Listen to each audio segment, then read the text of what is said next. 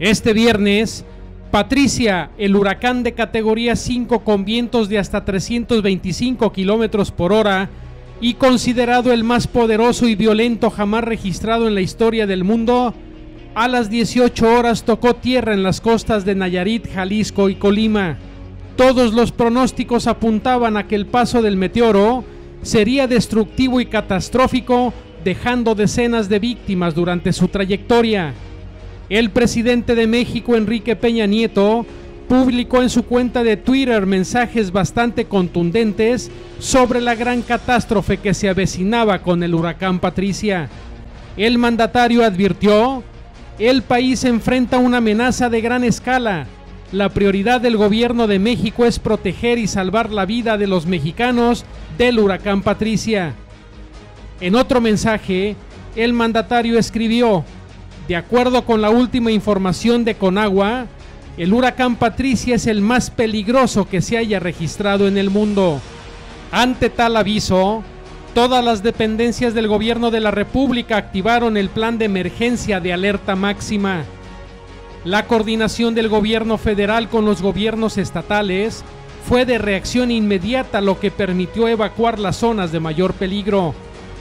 Lo cierto es que el Servicio Meteorológico Nacional, adscrito a la Comisión Nacional del Agua, informó a las 3.30 de la madrugada de este sábado que Patricia pasó de categoría 5, la marca más alta jamás registrada en la historia, a un huracán de menor nivel con vientos de 120 kilómetros por hora, sin dejar ni una sola víctima mortal en su trayectoria.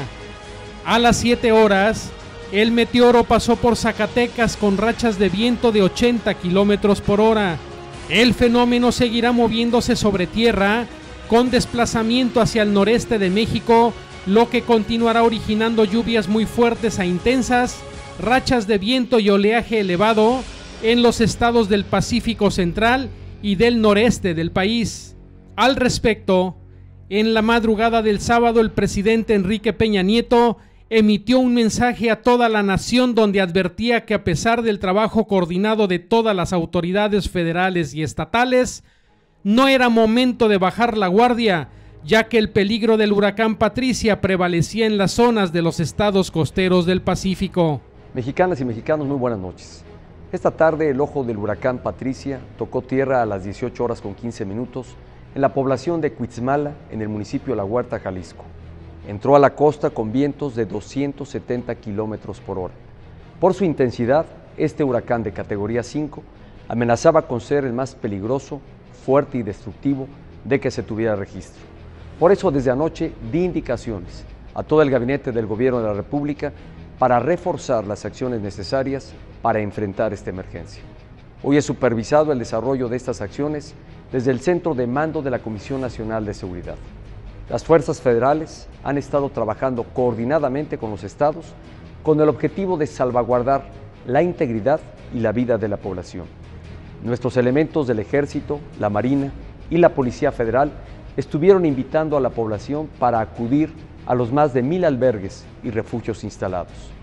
Con la información disponible hasta el momento y tomando en cuenta que el fenómeno sigue su curso, los primeros reportes confirman que los daños han sido menores a los correspondientes a un huracán de esta magnitud. Sin embargo, es muy importante que la población continúe en los refugios. Las fuerzas de seguridad estarán patrullando para proteger sus hogares. Hasta ahora han funcionado los sistemas de alerta y de protección civil. Y lo más importante es que hemos contado con la activa participación de quienes viven en las zonas de riesgo. Agradezco y reconozco ampliamente a la sociedad mexicana por estar atendiendo las indicaciones de las autoridades de protección civil y mostrar su solidaridad a través de los centros de acopio que se han organizado espontáneamente.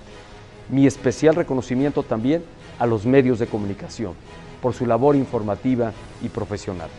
Igualmente, agradezco la activa participación de los mexicanos en las redes sociales quienes están contribuyendo al alertamiento de la población. Valoro la amplia participación del sector privado, incluyendo las tiendas de autoservicio, bancos y aseguradoras, que en coordinación con las autoridades están tomando medidas en favor de la población. Esta noche reconozco la labor de miles de servidores públicos que están desplegados en las zonas afectadas, listos para auxiliar y respaldar a los mexicanos. Nuestra prioridad en todo momento ha sido y sigue siendo proteger la vida de los mexicanos. Lo reitero, aún no podemos bajar la guardia. Insisto, la parte más peligrosa del huracán aún está por entrar al territorio nacional. Además, también se esperan intensas lluvias en el Pacífico y en distintos estados del centro y noreste del país. Le pido a la sociedad mexicana que siga atenta a la información que emitan las autoridades sobre el huracán Patricia en las siguientes horas. Nuevamente, mi reconocimiento a todos los mexicanos porque unidos estamos haciendo frente a este desafío. Muchas gracias. En la edición de Wilbert Villagrana, para Telemar Noticias, Luis Pinedo.